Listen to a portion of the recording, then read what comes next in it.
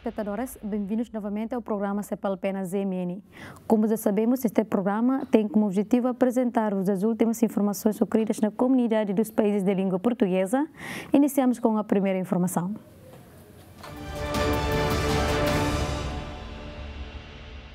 ruas mais calmas, muitas lojas fechadas e serviços públicos praticamente desertos são o retrato da cidade de Dili no início do confinamento obrigatório e cerca sanitária.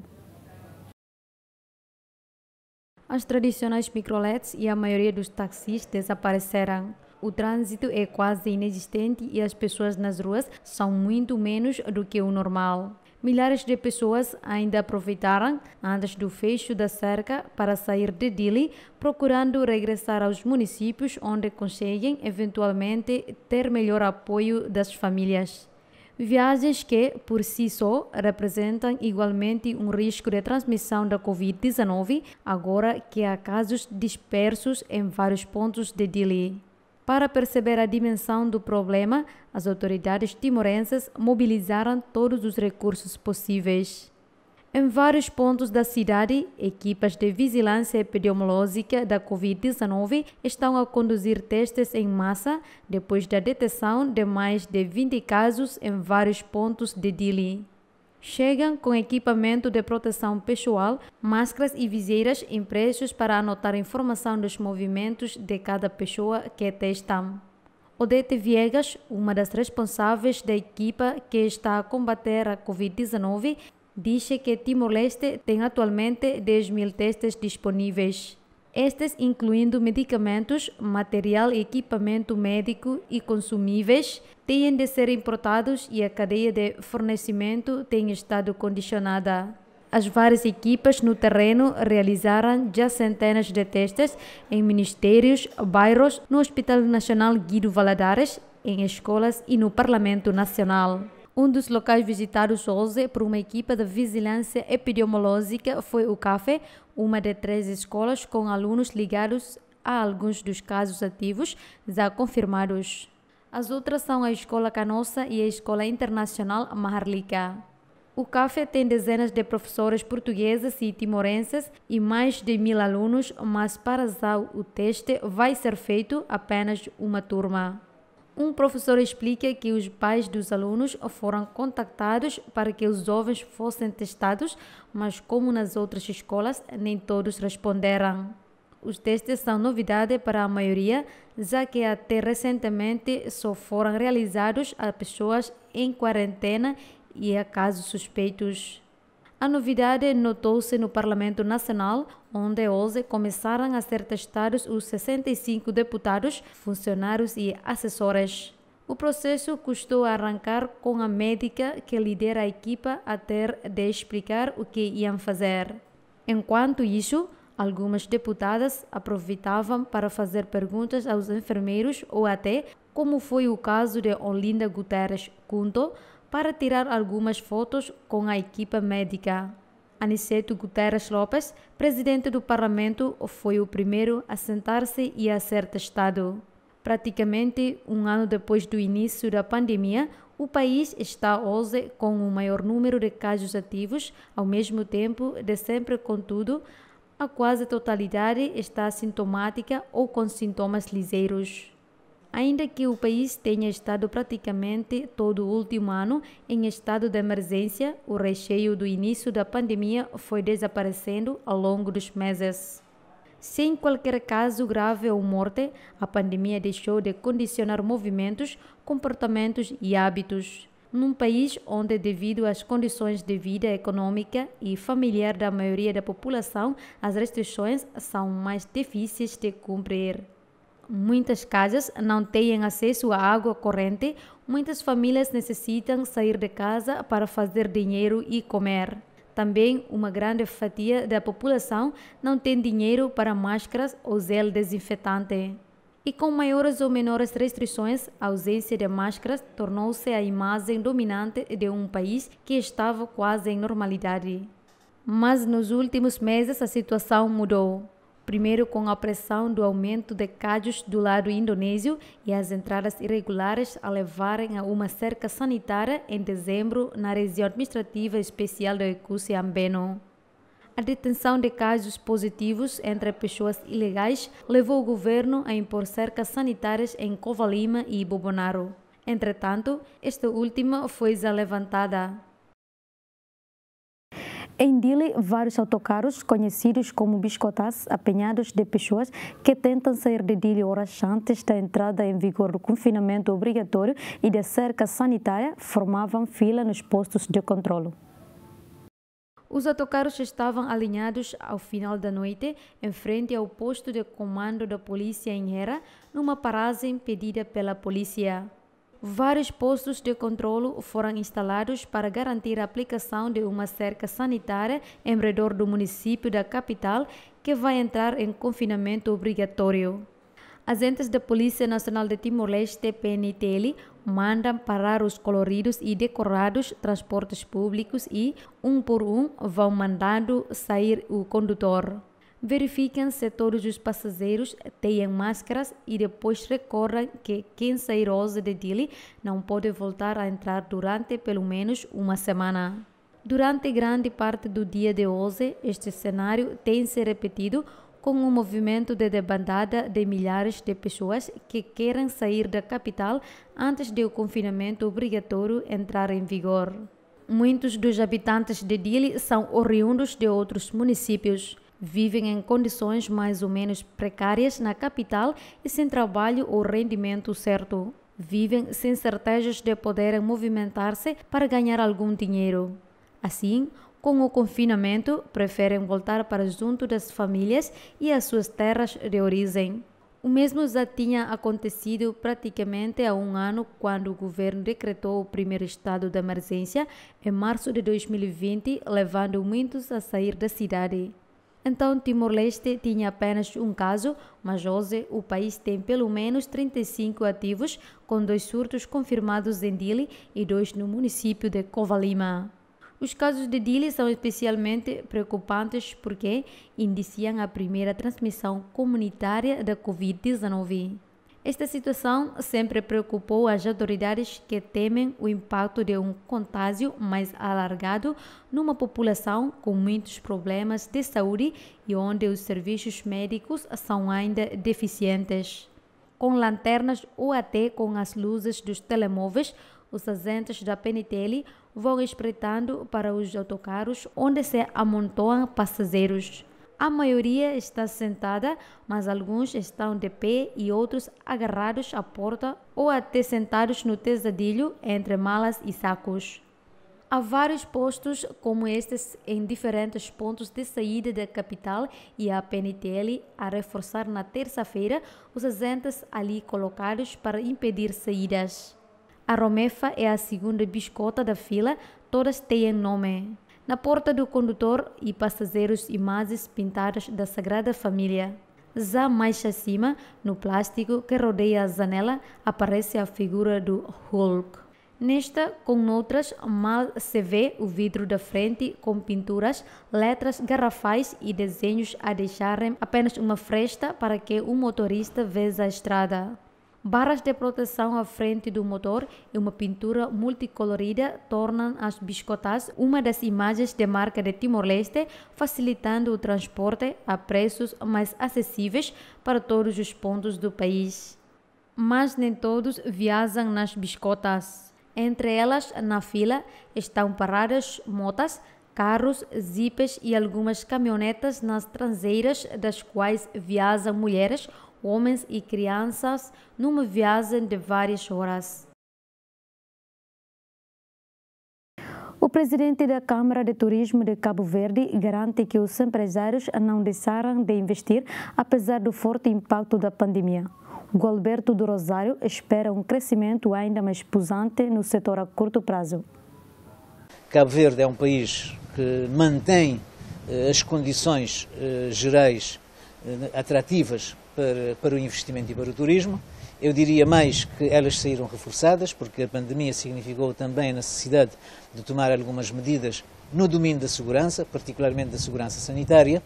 Portanto, Cabo Verde hoje, por exemplo, o aeroporto do Sal está classificado como um dos 10 aeroportos da África com segurança sanitária, portanto é um aeroporto seguro deste ponto de vista. e, por conseguinte, aquilo que a gente admite é que, uma vez resolvida a questão da, da, da pandemia, o setor retome não é, na normalidade, eventualmente até com, com outra pujança, esperemos, não é, como vinha crescendo.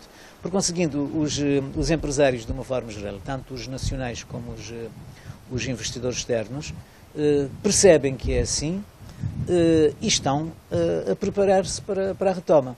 Eh, assim como o Estado não, é, eh, não está parado, eh, continuou com as reformas legislativas que vinham sendo adotadas no sentido de criar um melhor ambiente de negócios, inclusive, inclusive avançou-se também com alguns projetos que já estavam em, curso do ponto de vista da facilitação do investimento. Refiro-me, por exemplo, ao Fundo Soberano do Investimento Privado, que, pelas informações que nós temos, eh, vai, vai começar a funcionar brevemente, portanto significa que também deste lado, portanto do lado público, eh, há confiança eh, e as pessoas continuam empenhadas no futuro de Cabo Verde. Portanto, os empresários acreditam no país, acreditam no país turístico que é Cabo Verde, com, com todos os argumentos. Em Portugal, os alfarabistas do Porto mostram a sua revolta com a permissão de venda de livros em grandes superfícies comerciais. Os primeiros 15 dias estivemos completamente fechados. É, há coisa de 15 dias para cá, já começa a catalogar algumas coisas, só que é uma tristeza estar aqui dentro sem poder entrar clientes. Os alfarrabistas do Porto temem que, mesmo com o fim do confinamento, os seus negócios fiquem permanentemente afetados pelos meses que passaram encerrados. Depois de uma longa batalha legal por razões imobiliárias para permanecer aberta, a livraria Moreira da Costa enfrenta agora o seu maior desafio. A esperança de que o fim do confinamento e da pandemia da Covid-19 permitam o regresso às vendas é perturbada pela deliberação que permite que grandes superfícies possam continuar a vender aquele que é o principal sustento destes espaços. Normalmente os clientes vêm aos alfarrabistas não vem à procura de um livro exato. Vem mexer nos livros e estar à vontade, por assim dizer. E, ao fim e ao cabo, esse espaço agora só é possível nas grandes superfícies. Não há nenhum motivo para as pequenas livrarias não abrirem. No primeiro período não vendi nada. Eu vendi 300 e tal euros no mês que estivemos fechados. Amélia Coelho está também revoltada com aquilo a que alguns colegas de profissão estão a ser obrigados a fazer pela sobrevivência. Queixa-se também da falta de apoios, sobretudo por nunca ter falhado com obrigações. Sobre um, de um colega nosso, coitado.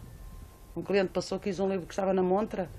Ele disse, vai para a esquina, vai para a esquina. Foi vender o livro à esquina, mas longe, deu meia volta para voltar para a livraria. Até se estamos a roubar. Estou há 30 e tal anos a trabalhar. Nunca dei, tive meio ano com baixa em toda a minha vida. Meio ano Nunca dei pedido ao Estado, nunca. Isto custa. Não pensarem, não pensarem que estamos fechados, não pensassem que precisa disto ou precisa daquilo, não pensam. Só pensam quando é para votar. É mesmo a dualidade de critérios das regras do confinamento que incomoda os alfarrabistas portuenses. Na Homem dos Livros, a sobrevivência passa pelas vendas pela internet e correios, quando outros estabelecimentos prosseguem com a venda do que consideram um bem essencial. Acho que é um bem essencial para a cultura e para as pessoas, mesmo quando estão em casa, poderem ler um livro, passarem em qualquer lado e pegarem um livro, porque eu acho que não havia nenhuma necessidade, digamos, de encerrar a livraria. Podiam era ditar regras em que uh, o tipo de entrega pudesse ser à porta ou, ou regulado em termos de quantidade de pessoas dentro do estabelecimento, que era perfeitamente fácil neste tipo de negócio de porta aberta e de pequeno espaço. Há uma disparidade grande porque há realmente alguns quiosques e papelarias e outros tipos de negócio que vendem livros, correios, etc. E nós, livrarias, temos que estar encerrados. O maior problema do encerramento, ainda que temporário, deste tipo de negócio é a fuga da clientela para outros mercados. Quanto mais longo o confinamento, menor a probabilidade de que os alfarrabistas resistam. Isto vai atingir os dois meses e meio, mas se for mais dois e meio eu não consigo. Porque água, luz, contabilista e, e internet e IVA, que, que acabei por pagar o mês passado e tudo, não consigo. E pode acontecer uma coisa que as pessoas desabituarem-se a vir à nossa livraria. E depois, se fosse um, confinamento, hum, digamos, com, com um período de tempo de certa maneira reduzido, as coisas se calhar recuperar-se-iam mais rapidamente. Agora já, nós já apanhámos com um confinamento o ano passado, e este ano continuamos a apanhar com um confinamento bastante longo, não é? E é evidente que deixa moças porque estes tipos de, de negócio, as pessoas até se desabituam às vezes de passar no local Com o estado de emergência decorrente da pandemia em vigor até pelo menos 16 de março, o negócio dos alfarrabistas portuenses conta agora os minutos até à reabertura, que dizem não se importar que aconteça com as máximas restrições. A cultura não enchia propriamente os espaços com clientes mesmo antes da pandemia. Acreditam que num setor em permanente luta pela sobrevivência, facilmente se adaptam a novos desafios.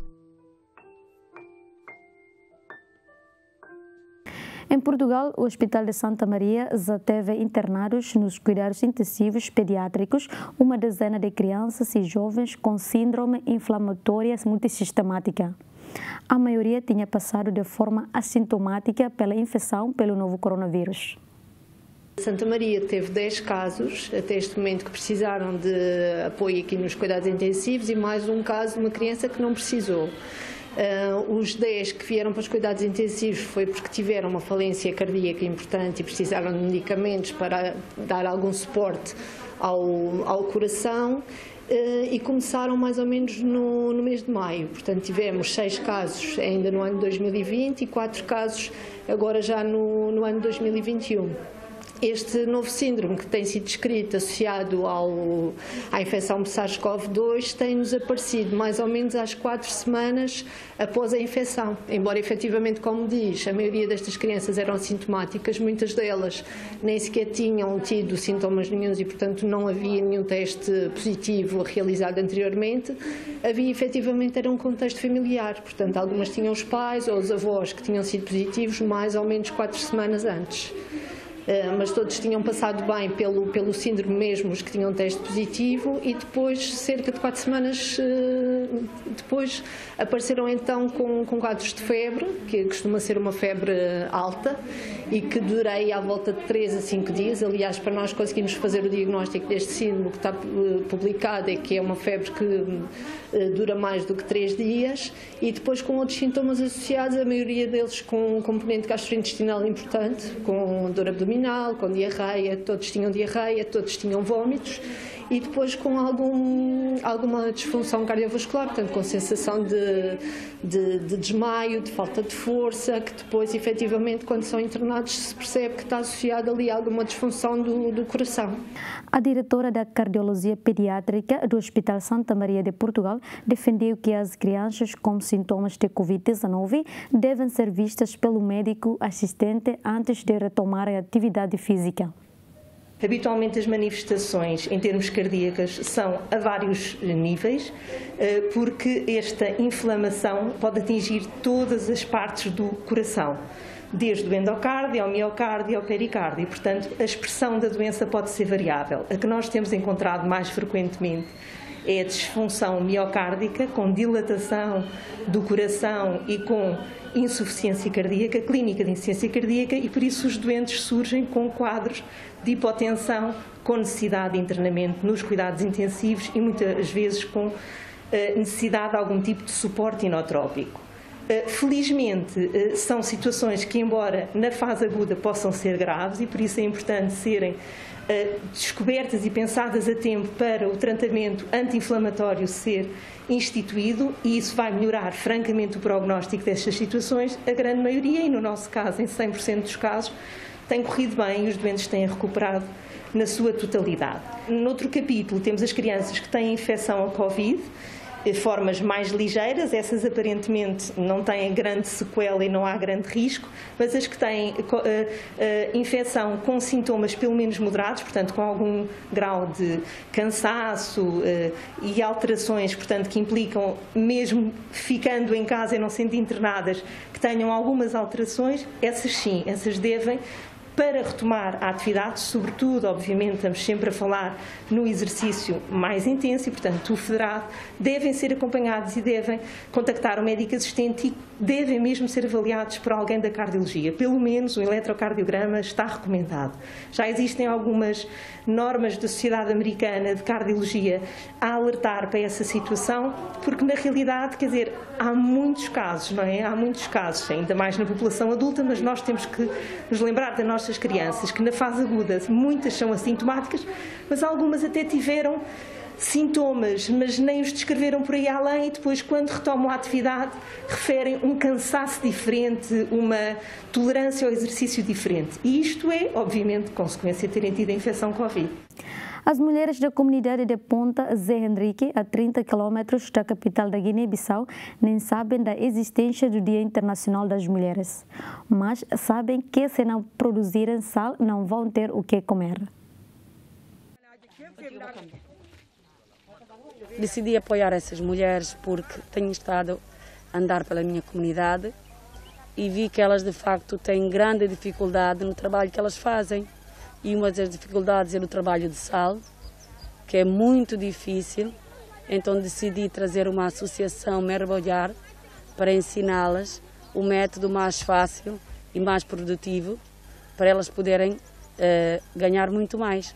Porque o método que elas utilizam neste momento é o método tradicional, que é um método muito difícil e muito cansativo e no fim, quando, uh, quando ganham o, o no final da produção, para irem para o mercado, acabam por vender o sal a um preço muito barato para o trabalho que elas fazem. Porque aqui nas tabancas e nas comunidades, as mulheres é que sustentam os filhos, elas é que pagam a escola pelos filhos, elas é que fazem praticamente tudo. E nesta altura que nós estamos a começar, por exemplo, vamos entrar na altura da campanha de caju, elas primeiro vão para a panha do caju, depois é que vêm para o sal. Então, com esta formação, torna-se fácil, porque elas, se elas meterem a água já nos, nos sacos, elas podem ir apanhar o caju. Não precisam estar ali ao lume a empurrar a lenha e, e passar ali o tempo. Podem estar a fazer outro trabalho, que é a apanha de caju, e ao mesmo tempo a fazer o sal.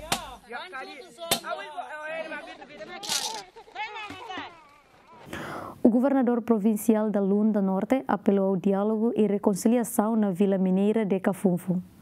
Há um mês foi palco de incidentes com a polícia que provocaram um número indeterminado de mortes. Cremos na mudança com a força do diálogo de todos nós, sobretudo daqueles que fizeram apelo à violência cruel para promover os seus fins. Ainda confiamos, embora seja grande, desafio que dará um passo à frente àqueles que infligiram sofrimento à comunidade e mal-estar a todo o país.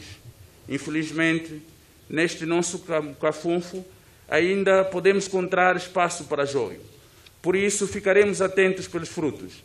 Sentimos neste momento dor pelo que aconteceu nestas terras, mas, apesar de tudo, não pensamos que a reconciliação, o diálogo, a luta contra as assimetrias se unam num abraço que assuma a história deste povo.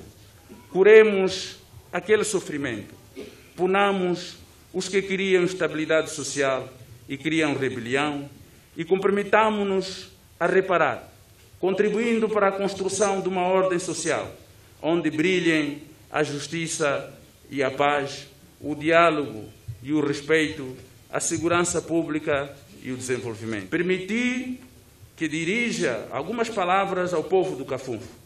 Não oponhais resistência à reconciliação, que vos faz aproximar uns dos outros. Reencontrar-vos como irmãos da mesma pátria querida, una e indivisível, e superar as inimizades. É hora de sarar feridas, lançar pontes, limar diferenças. É hora de apagar os ódios, renunciar às vinganças e abrir-se à convivência baseada na justiça. O executivo angolano, liderado por Sua Excelência, Senhor Presidente da República, Dr. João Manuel Gonçalves Lourenço, baseia o desenho e materialização do seu programa de desenvolvimento inserido no contexto global, abrangendo todo o território nacional. O estado atual de desenvolvimento socioeconômico da província da Lunda Norte não pode ser dissociado do contexto nacional. Trazemos todos nós marcas nos corações sulcados pelos conflitos armados. O bem do homem, visto na totalidade da sua natureza e na plena dignidade da sua pessoa, é verdadeiramente fator determinante para todas as intervenções humanas neste campo. É verdadeiramente esplêndida a iniciativa E é com a pesada responsabilidade que o Comando-Geral da Polícia Nacional e o Centro de Estudo para a Boa Governação, o FOLO, assumem, esforçando-se por promover este momento de reflexão sobre a cidadania e a segurança pública na Lunda Norte. Por meio dos vossos esforços e por meio da justa e iluminada contribuição de muitas mulheres e homens de boa vontade que entenderam o que está em jogo, seja este encontro proveitoso na criação de uma nação digna de serviço fraterno, de unidade, reconciliação, diálogo e paz, um Estado democrático e de direito. Angola é una e indivisível, um só povo, uma só nação. Excelências, o direito à vida é o principal direito pessoal, pois sem a preservação da vida, todos os outros direitos são inúteis. É a vida que dá e mantém o ser sujeito e destinatário de direitos, segundo José Faria, 2001. De facto, a vida é o centro de gravitação de todos os outros direitos, porquanto estes também chamados direitos acessórios são inerentes à própria vida. O direito à vida é um direito inato que se adquire no ato de nascimento e, tal qual os demais direitos de personalidade, é intransmissível, irrenunciável, indisponível e objeto de proteção penal. O presidente da República de Portugal prometeu defender uma melhor democracia com tolerância e respeito por todos. Marcelo Rebelo de Souza apela à convergência no regime e alternativa de governação e estabilidade. A passadeira vermelha estendeu-se, os diferentes convidados não faltaram à cerimónia e finalmente chegou o convidado de honra que todos ansiavam. E tal como há cinco anos, Marcelo Rebelo de Sousa voltou esta terça-feira a chegar a pé para a cerimónia de tomada de posse do segundo mandato como Presidente da República, que decorreu na Assembleia da República. Com 72 anos, Marcelo, conhecido como o Homem dos Afetos, foi reeleito nas eleições presidenciais de 24 de janeiro, com 60,77% dos votos. Ao contrário da primeira vez, a pandemia da Covid-19 obrigou uma cerimónia na Assembleia com menos de 100 pessoas e tudo decorreu mais rapidamente. Perante os deputados e aos olhos dos portugueses, Marcelo assumiu cinco missões: melhor democracia, combate à Covid-19, recuperação económica, coesão social e protagonismo internacional do país. Pela primeira vez em democracia, um Presidente da República toma posse em estado de emergência, perante uma Assembleia da República que nunca deixou de funcionar ao serviço dos portugueses.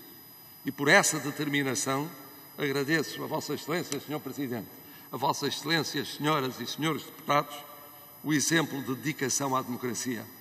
Nunca aceitando calá-la, nunca aceitando suspendê-la, nunca aceitando fazê-la refém. Que seja esta a primeira lição do dia de hoje. Vivemos em democracia. Queremos continuar a viver em democracia. E em democracia combater as mais graves pandemias. Preferimos a liberdade à opressão, o diálogo ao monólogo, o pluralismo à censura. E demonstrámo-lo realizando duas eleições em pandemia, de uma das quais resultou a subida da oposição ao governo. Isto é democracia. Marcelo deixou ainda uma mensagem especial aos portugueses. Portugueses, resta lembrar o óbvio. Sou o mesmo de há cinco anos. Sou o mesmo de ontem. Nos mesmos exatos termos, eleito e reeleito para ser presidente de todos vós. Com independência, espírito de compromisso e estabilidade, proximidade, afeto, preferência pelos excluídos, honestidade, convergência no essencial, alternativa entre duas áreas fortes, sustentadas e credíveis, rejeição de messianismos presidenciais, no exercício de poder ou na antecipada nostalgia do termo desse exercício, no respeito pela diferença e pelo pluralismo, na construção da justiça social, no orgulho de ser Portugal, de ser português. Já reempossado, o chefe de Estado mudou de cenário e rumou ao Palácio de Belém, onde teve ainda uma sessão de boas-vindas.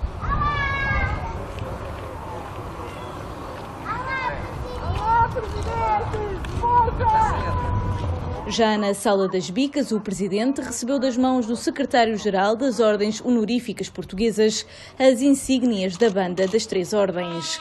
Marcelo partiu depois para o Porto, onde tem um encontro agendado com o autarca Rui Moreira, seguindo-se uma cerimónia ecuménica com representantes de várias confissões religiosas no Salão Nobre da Câmara Municipal Portuense.